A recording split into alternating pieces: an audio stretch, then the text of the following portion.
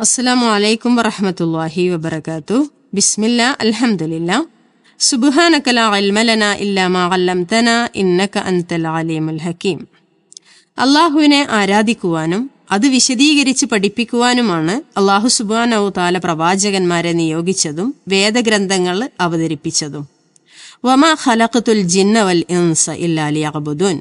എന്നെ മാത്രം ആരാധിക്കുവാൻ വേണ്ടിയല്ലാതെ ഞാൻ മനുഷ്യ ജിന്ന വർഗങ്ങളെ സൃഷ്ടിച്ചിട്ടില്ല. നോക്കൂ നിങ്ങൾ നമ്മുടെയെല്ലാം സൃഷ്ടിപ്പിന്റെ ലക്ഷ്യം അള്ളാഹുവിനെ മാത്രം ആരാധിക്കലാണ്.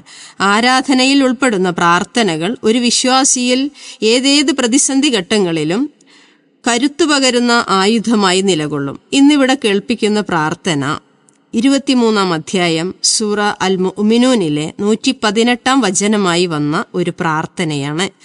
പ്രാർത്ഥന ഇങ്ങനെയാണ്.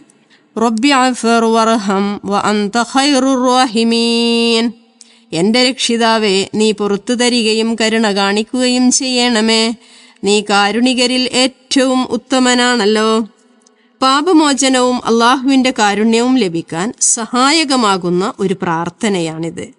അള്ളാഹുവിന്റെ പക്കൽ നിന്നുള്ള പാപമോചനത്തിനും കാരുണ്യത്തിനും അപേക്ഷിച്ചുകൊണ്ട് അവനിലേക്ക് മാത്രം പ്രാർത്ഥന അർപ്പിക്കുവാൻ റസൂൽ സല്ലാഹു അലൈ വസല്ലമയോട് ഉപദേശിക്കുകയാണ് ഇതിലൂടെ.